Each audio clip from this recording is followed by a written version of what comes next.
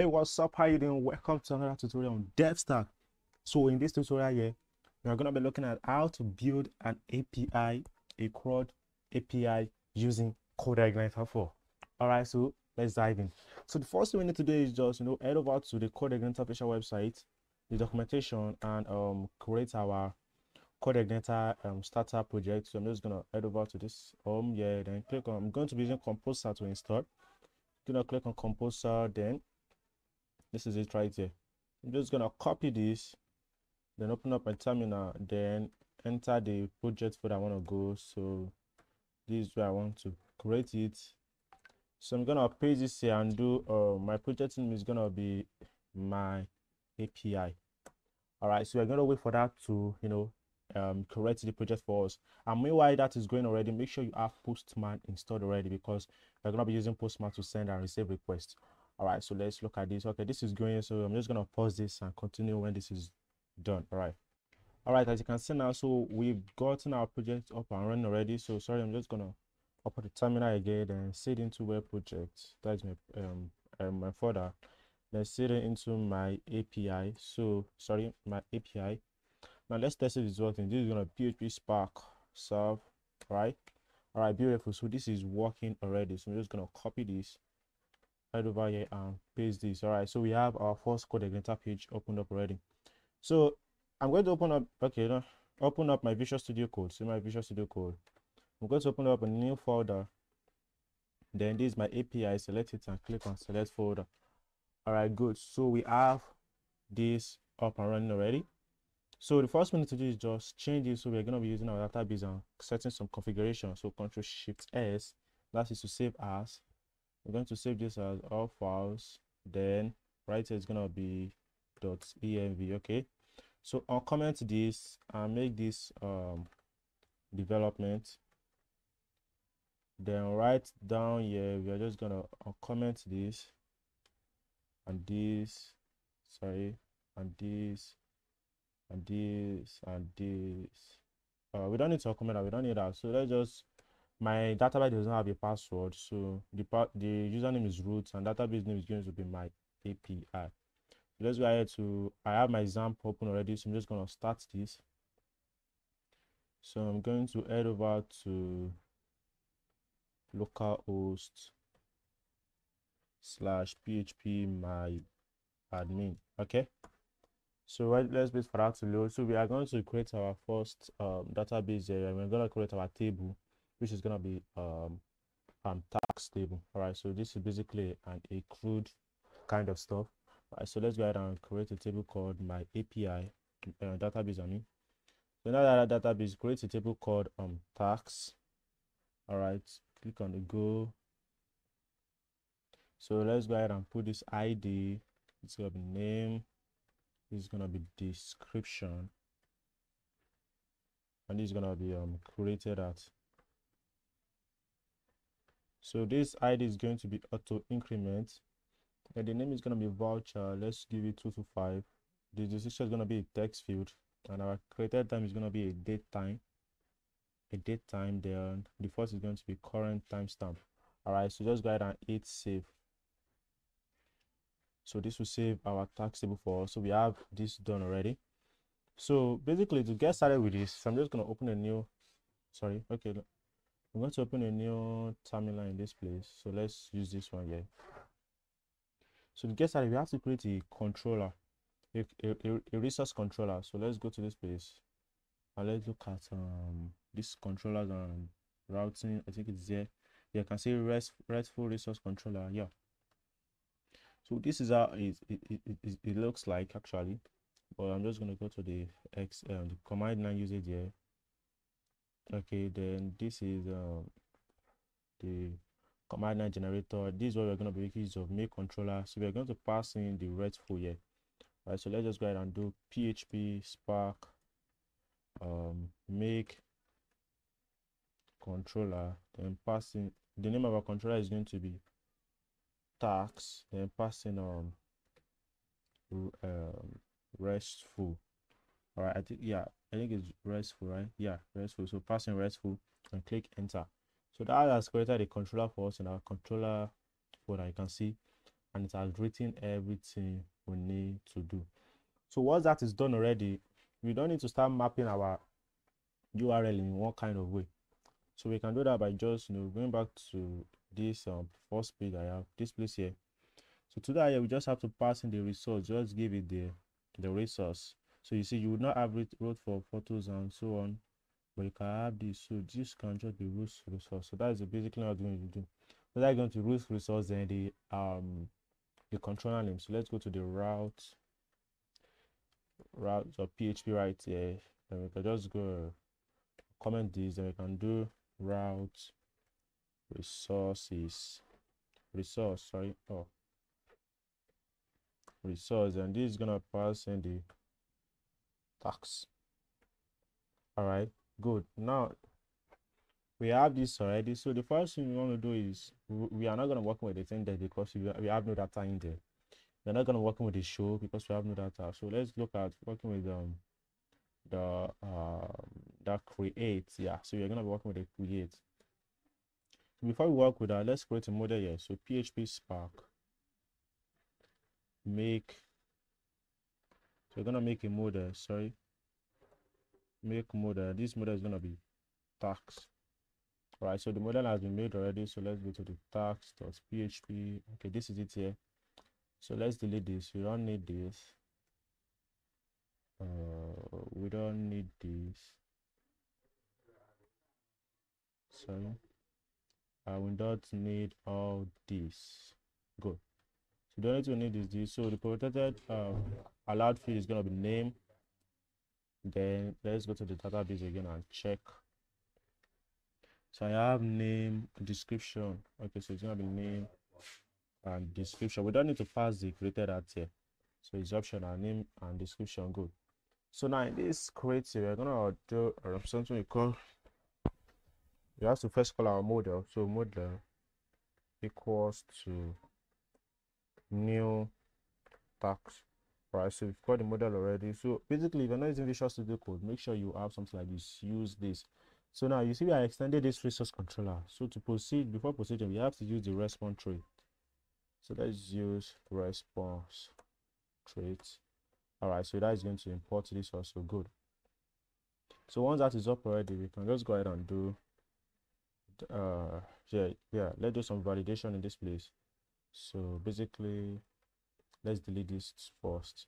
Let's do validation first. So this rows equals to this. We're gonna do um the first one is the name. The name is going to be required. Okay and the next one is a description. So the description is going to be what? Require yard so let's go ahead and do if not this validate. So if it is not validated the rules i want you to send uh to return this then fail. We have something we call fail. So that fail is to respond returns a fail object using um php a json fail object using php so let's do fail. We can go ahead and do um, this then the validator validator sorry sorry validator then get error. So you can go ahead and get the errors. You can see the error i'm getting is end with an s not a single not an error it's errors. I battled with that a lot so let's use the else. So basically we have this up and running already. So let's go to our postman here. It's gonna create a new one. It's gonna be http localhost port 8080 sorry 8080 right? Yeah i think it's 80 yeah 8080 then slash where we are pointing to is um tax tax slash create that is a resource name. So tax slash create let's send this. Now you can see we have this okay. So let's take a look at the preview. Okay this is not giving us anything let's try create alone Let's send this. All right, this CodeIgniter 404 controller or method is not found. All right, so that is actually working. Tax slash create is actually working. So let's send this. So we have this right here.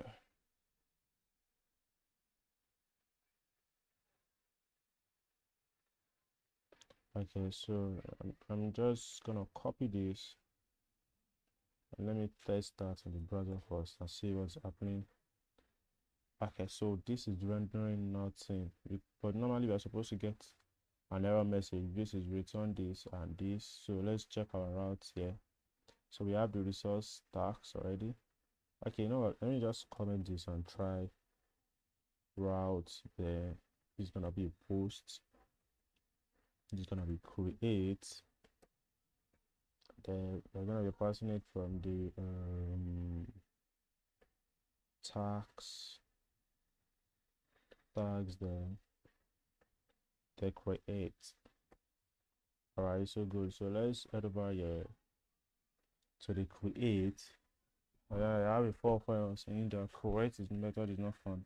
So you have this post supposed to create. All right so why this one is not fun? Because i'm trying to use the get get method here instead of a post. So let's try that in this place. So let's remove this. Let's send this. All right now you can see we have um four for controller method is not found. So we are still getting the same error. And that is weird. Okay. Okay i think I, I i think i know why that this is that. Okay we are using the get here. So let's use the post and send. All right you can see the field name is required or so so i think that is the error there. So let me just comment this and um comment days back because I think that should be why it's it didn't work that last time. So this is in tag slash create so send. Alright, yeah, because we are using get instead of post. Alright, so we have this done already. So now evaluation is working now. So no else. So once that evaluation is is passed through, let's go to variable called data. So that's of an array is going to pass in um this. So this is gonna be the name from the database so is this going to be this request get var. So the get var is going to be name comma so we need the description to description. It's going to be this request get var description Alright, so next need to is just call that model. Model equals to new tax. Then we can go ahead and do uh, model then save. So we are saving our our data. So to check if this response was successfully created, we can just go ahead and do return this code CodeIgniter has everything created for you. So we can do this response created then passing the data. All right so this is as abc simple as abc so let's send this now. Let's okay we still getting the error. So now let's go to the body. Click on this part here. We're gonna have a key. So the first key is the name and the other one is the description. So the name here is gonna be get a get an iphone. iphone 12 Pro Max. Okay, this is not where I'm supposed to put it. Control X, we don't need this. Okay, here. So let's click on send. Now you can see we are getting our data back. So that is to say it has actually saved in the database. So let's try let's try that again. The this thing, let's try that. You can see I have get an iPhone, iPhone 12 Pro Max, and our time is automatically updated. I can go ahead and do um let's try iPhone 11 Pro Max, get iPhone 11. So if I send this, I can be seeing response created here. Refresh this, I can see we have this. Now let's work on getting our our our our data in this place. So to do that, all we have to do is just call the model in this place equals to new tax. Then we can go ahead and do model then find all so let's do data. Let's assign this to a variable called data. And i can do return this. So this place we're not going to be using response created. That is for the response we get after something has been created or updated we are going to be using something just called only response. So this is just going to fetch the response as a as, as a json object for us. So we have this already. So to do that we just have to point to the tax alone so just delete this place and click send. All right you can see we have our tax being loaded up. So this is uh, running on a post. Let's try get and send. Okay. Now you can see it just gave us an error. So basically we have to use the post in this place and which is weird actually. So basically this is it. You can see we are getting our our um sorry our data from the database already brilliant so now the next one we're going to do is the show so this show is going to be to, to, to work on us getting the data by an id from database so to do that, you just have to call the model again. Model equals new tax.